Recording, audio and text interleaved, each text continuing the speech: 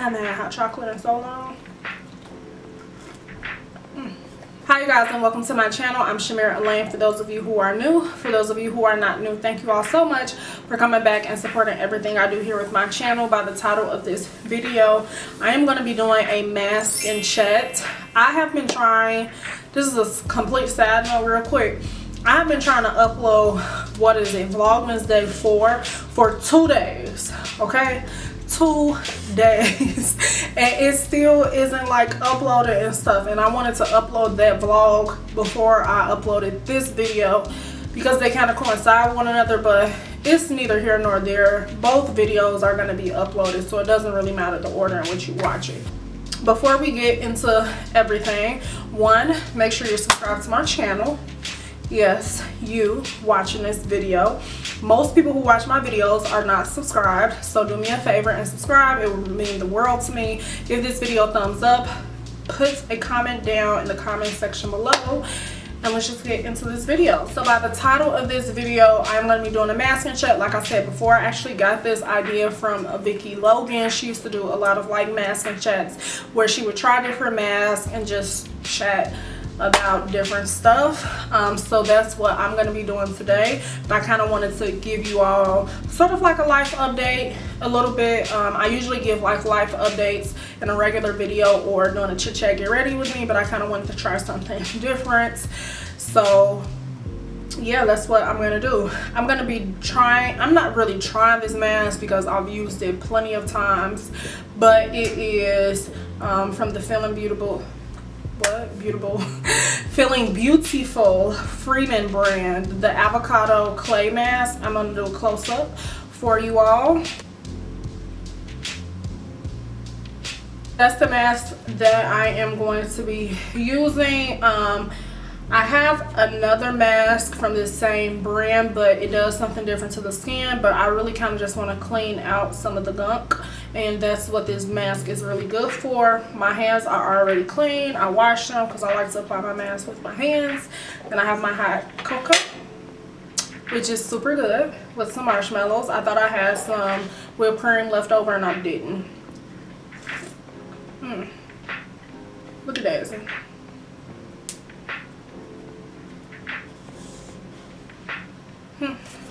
So I'm going to apply this mask. I have my mirror. And I'm to put it on like the magnified side so I can truly see myself. Push my hair back. But yeah, you guys, a lot has happened since uh, we last spoke.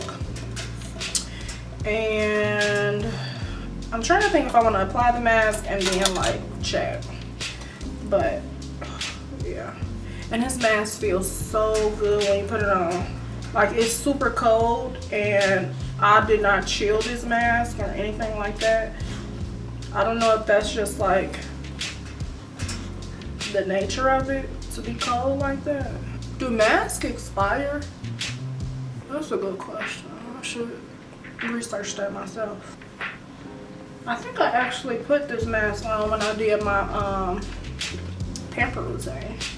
If you haven't watched that video, make sure you do so. I'm gonna put it up here for you all to go watch it.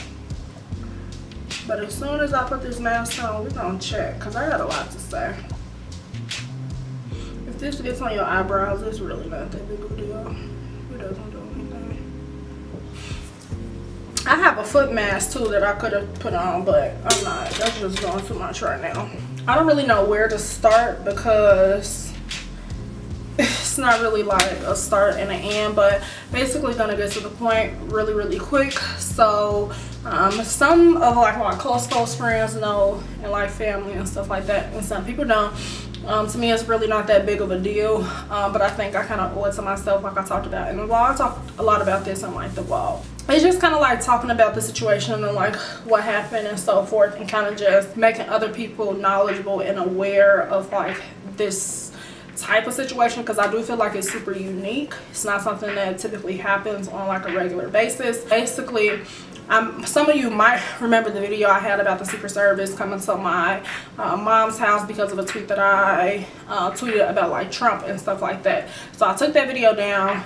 That's neither here nor there. Basically, because of the tweet, I was technically um, let go from my internship and then suspended from Loyola. Like, I feel like it's one of those differences of opinion type things. Like it's kind of one of those things where whoever is in power kind of has the last say. No matter what I say, no matter what I do, it's kind of just your interpretation and perception versus mine and there's a lot of gray area um, a lot of what they were talking about was that I violated the policies you know student policies employee policies whatever the case may be but again those areas are very very gray and I don't think that I violated, you know, anything, but they do. Just a lot of gray area. I do feel like it was those consequences should not have been given to me and as a result of like that type of stuff.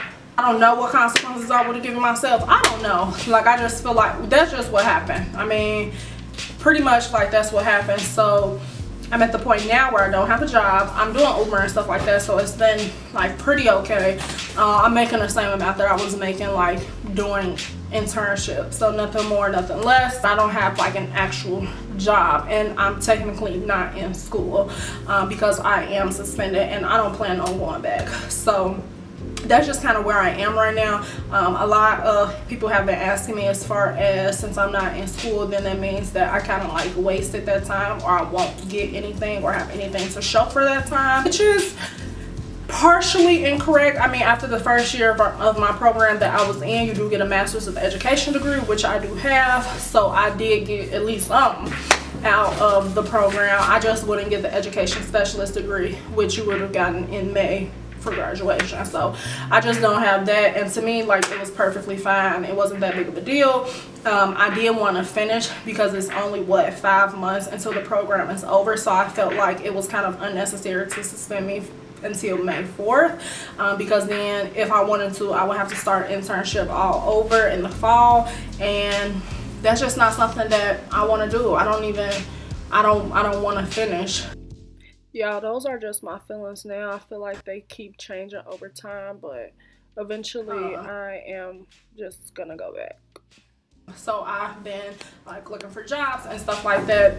Um, doing stuff that i actually wouldn't mind doing for more than three four five years. And something i'm actually stuff that i actually enjoy doing that also gives me the leisure and the freedom to be who I want and run my business and create a brand and you know like do all of those other steps like in between. I don't feel like school psychology allowed me to do that. They want you to stay in this box and that's just not me. I'm not a person who stays in boxes. I'm not even a person who follows directions okay? So like those types of careers just like aren't meant for my type of personality which is okay. You know I've had to tell myself this all the time like since it happened like it's okay you know like it happened life goes on you live and you learn and you move forward. You don't dwell in the situation that you're in for so long to the point where it discourages you or just gets you in this state where you're hopeless um, or feel like everything is your fault or feel like you know all of those negative thoughts and stuff like that. Like i just took it as a learning experience and just moving forward and really like pushing forward and putting 100% effort into like every move that I make thus far. So it sucks at the end of the day because I mean if y'all have been following my like grad school journey y'all know how hard it was for me financially to just be able to uh, pay all my bills and stay on top of everything and get myself out of debt. So this literally like worsened it you know? So i'm just like trying to get in the right headspace to be able to deal with that. And yeah find another job that's you know gonna notice my worth and be able to say look you made a mistake but you know let's keep on going. And i don't feel like loyola or CPS did that for me. It was like you made a mistake, that's it. You know, so there there was no room for like opportunity or, you know, anything like that. I don't feel like black people especially from low income. I'm from the hood, okay? I'm from the projects. I don't feel like we're given a lot of opportunities and then when we're given opportunities, it's like once you make a mistake, it's like that's it. You know, people don't it's like they they want you to i ain't gonna say they want you to make a mistake but it's like you make a mistake and then they don't even allow you to like recuperate or redeem yourself. It's kind of just like the end all be all. And i need a place that is gonna acknowledge that people make mistakes. Everybody is not going to do everything you say and that's okay. You know life is about evolving. And understanding the gray area and being able to compromise about that gray, gray area. Life is not black and white. It's not. And we're teaching people and teaching kids that life is black and white and it's not. So I know myself a little bit more now and understand that I want a job where I can be able to maneuver in that Daisy. I want a job that I can maneuver in that gray area and explore that gray area and get people to challenge themselves and their way of thinking about gray areas if that makes sense to you all. So that's kind of like where i am right now. Um, no ill feelings it's kind of just like it is what it is. I know I kind of no lie like when it first happened I kind of felt some way when not I, I'm not gonna say I felt angry but I did feel a little disappointment when like you know friends didn't reach out to me like friends who knew about like what happened you know like friends didn't reach out to me or like you know anything like that. And I understand how like some people think like oh you know she's going through a hard time I'm gonna you know just like leave her alone for a little bit you know and stuff like that. But to me I don't know maybe just me like that's just not being a true friend. And like I was just tweeting about like me learning what a true friend actually is and how to express you know the love that you have for your friends and how that is different you know for everybody. And I don't know I was just disappointed a little bit because I would have people that I didn't know for a long time like my supervisor like you know my supervisor at CPS um you know texting me like almost every other day throughout the week you know asking me if I was okay if you know um, the progress are there any updates you know kind of trying to get me back on that right step or my mentors or you know and then it's like you hear nothing from other people you know which is cool essentially but I don't know. Like I did kind of like feel a little bit disappointed. The situation is like I said very unique and very unbelievable to an extent. Like i do feel like this is some shit that is in a movie. I, when it first was happening i kid y'all not like y'all can ask darius. I was just like man life is over. Everything that i worked for went down the fucking drain.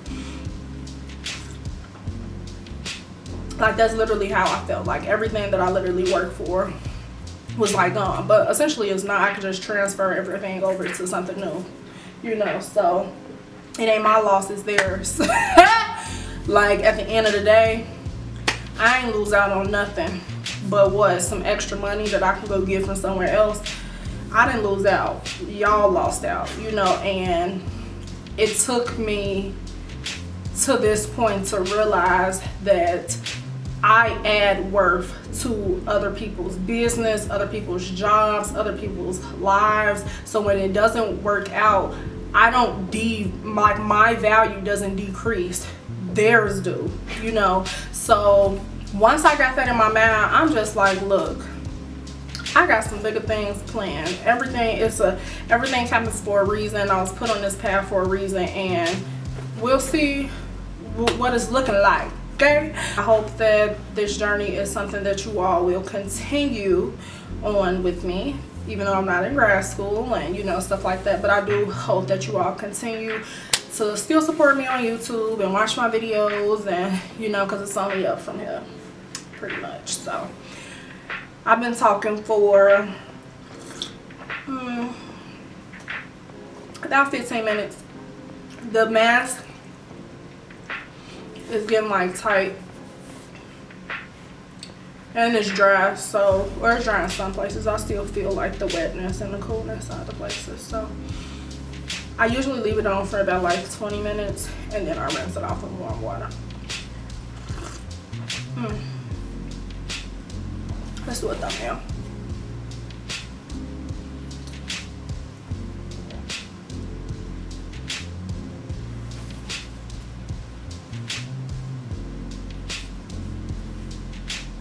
everything is all dry, I'm gonna go in the bathroom, rinse off with warm water, and moisturize my face and come back. Ooh, smoother than the baby's bath.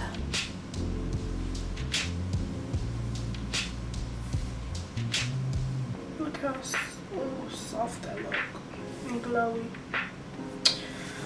Okay, before I close out this video, I just want to just give some encouragement to myself and anybody else watching this video that feel like you know certain situations have happened and it kind of just knocked them back to level zero when they were already at level 58 okay? It is not over it is not over. It's just a new beginning okay? Take everything that you learned from your past take everything that you learned from that situation and apply it to the next one. That's really all you can do. Life is not over. You was blessed with another day. You was blessed to smell the fresh air to look and talk to your loved ones to just be a better version of yourself and you can't take that for granted. Even though it feels like hell. Even though it feel like hell you got to keep you got to brush it off you got to keep going because that is what is going to make you stronger. That resilience is key and a lot of people don't have that okay? So feel grateful that you're able to gain some resilience in your life along the way. So just want to thank everybody that has given me some encouragement along this journey. I love y'all so so so much. And yeah this is the start of a new Chamira Lane, okay? But yeah, I'll see you guys in my next video. Bye.